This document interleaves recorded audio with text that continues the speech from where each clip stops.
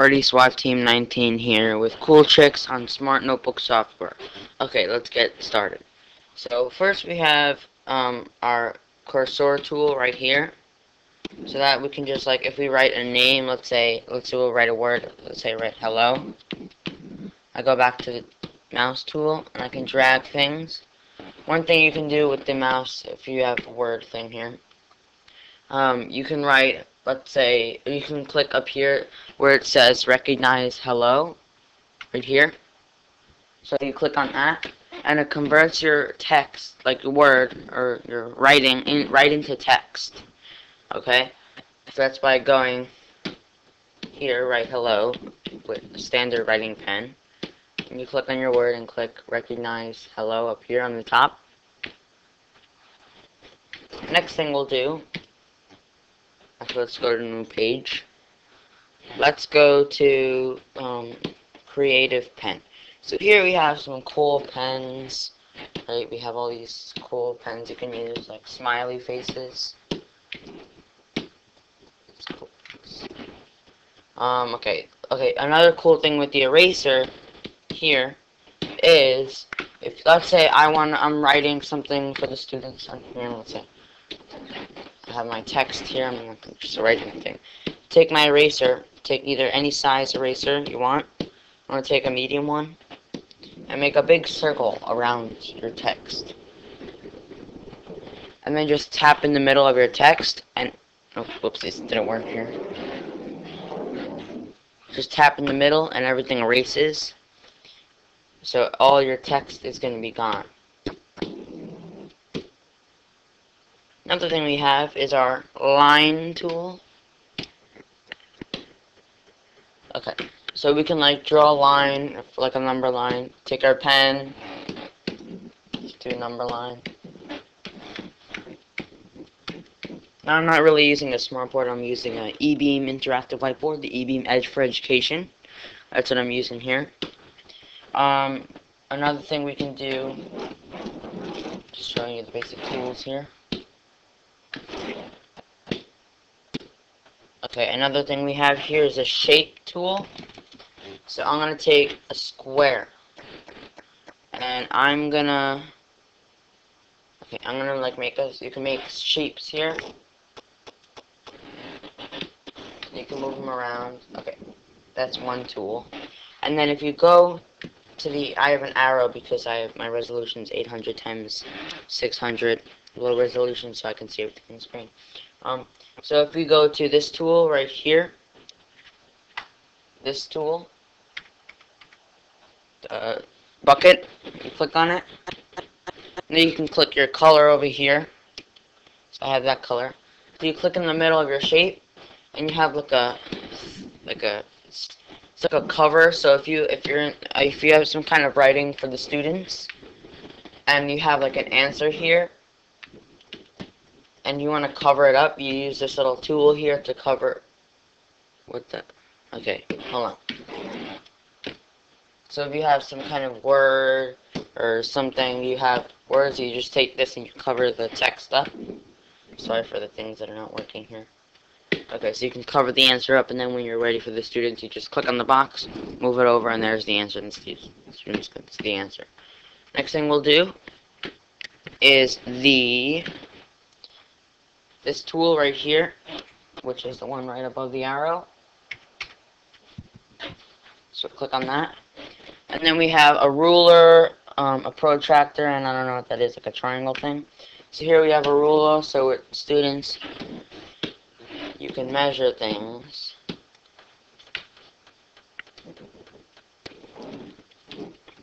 Students, you can measure things, how long this is, blah, blah, blah. It's one tool.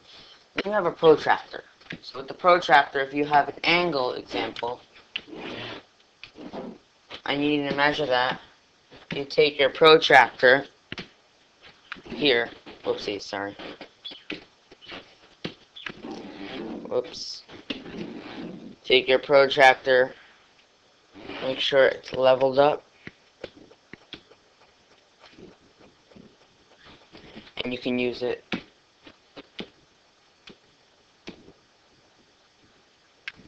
Oh well, here, this my lines are not straight. let's do that again. Hold on. Sorry. So let's go here. Paste it. Okay. So here we have, let's say, we draw our line from the middle, which is here. And then now we take the protractor and we're able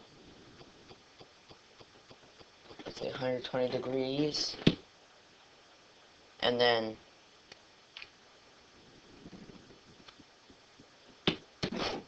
wait no actually I'm using the wrong tool we're supposed to use the line tool so from there and you use the line tool to get a straight precise line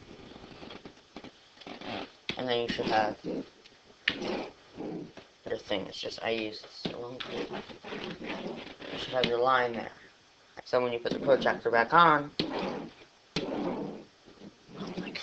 Okay, just let's skip this step. Next step. Let's go to our text. So here we're able to, we can draw like an outline a box here. And in the middle we're able to draw, or, not really draw, but you know, um, write, type, I mean, yeah, type text. Go to our next step, we'll go to our create, um, our magic pen, which is right here. Okay, so if we click on our, if we click on our magic pen, okay, so there's three, three easy thing, three like cool tricks you can do with the magic pen. Okay, one is if you have some kind of, um, let's say, let's say we have typed text, so we write hello, and then let's say we can't, like kids in the classroom can't read that, like they're in far in back of the room, they can't read that. We go to our magic, um, well actually no, I'm, uh, okay, okay, let's say they can't read that, so we're going to take our magic pen, make a rectangle around our text, and let go. And you see how the magic pen automatically zooms on on your text. So you see it says hello, all zoomed in. Next one we have, let's say we have all these words here. And we have okay, bad, and we want students to pay attention to one of those words, like just straight zoomed in on that word. We're going to take our magic pen again, and we're going to make a circle around bad. And you see how it makes some kind of like screen shade, and it just draws the attention of your students right to that word. Now, next one we'll do is the oh the last step is of, of the magic pen is just writing. So let's just write um Hello? Oh, whoopsie, sorry. Ooh. Okay, just write, let's write hi. Right here. Okay, you know, let's, let's go to the next page. So let's write hi. And watch what happens to the writing. It starts to disappear. So the cool thing about the magic pen is your words or your lines or your starts to disappear after a while.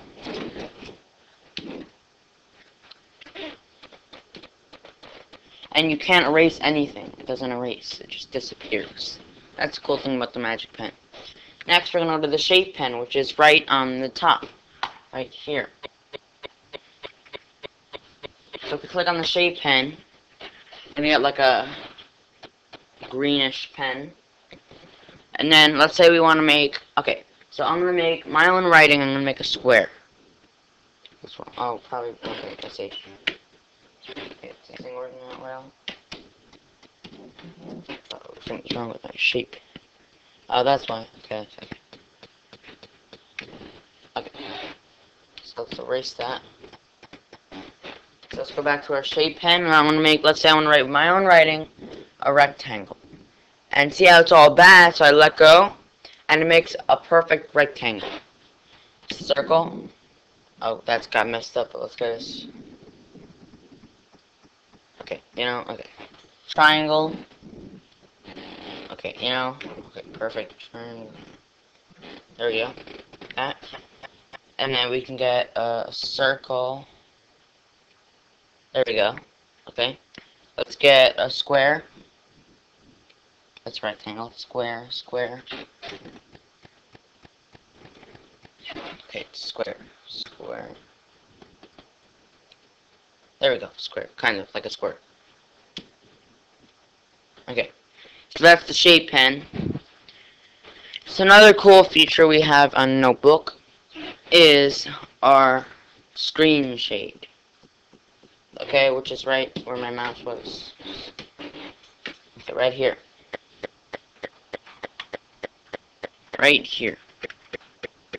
So screen shade, if you have text on your screen, we have all this text, and we want students to pay attention or just show on the screen one part of that text. So we don't want to show like some things on our lesson. So we click on the screen shade. Now here we have, we're able to move the shade up, down, bottom to up, left to right. So it's going to go top to bottom. So here, we're able to show one part of our text. So we're so we don't want students to pay attention to all of this down here, just one part. We can teach that, and then right after that, we can go down to the next one. That's screen shade. Um, so that's a cool thing we have. Um, let's see, we have, we can go to another cool feature if we go to our gallery over here. And we're going to type in dice. I don't know if you guys know about that. Or die.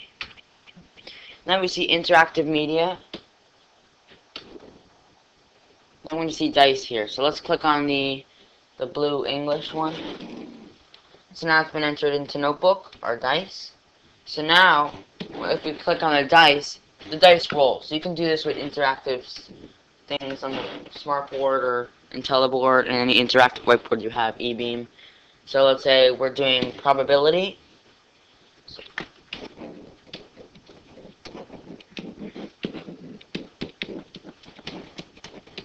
What's the probability of getting um, a even number on a die, which is a dice. Okay, so let's, so we have on an even number, on a dice, I mean, we have one, two, three, four, five, six. So even numbers are two, four, and six. So out of a die, you would get um, 3 out of 6, which is the probability. So you can use the dice to do interactive things. Another cool thing is playing chess. So let's go back to a gallery and type in on the bottom, chess. So now, with chess, you can click on related folders. Get a, a chessboard thing, bring it into Notebook, and with the students, you're able to do interactive things with this chess. So if you guys want to play chess, take a piece over here, and just move it over to the spot you want to bring it. And really interactive with the kids. Another thing I want to show you is like, um, see, board games, crossword, deck of cards. You have like a deck of cards, Sudoku, dominoes. You have dominoes here.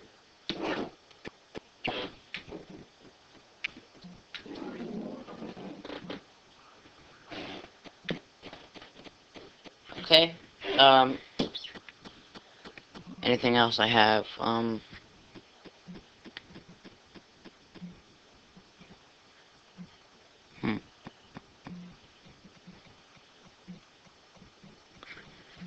Yeah, that's really cool.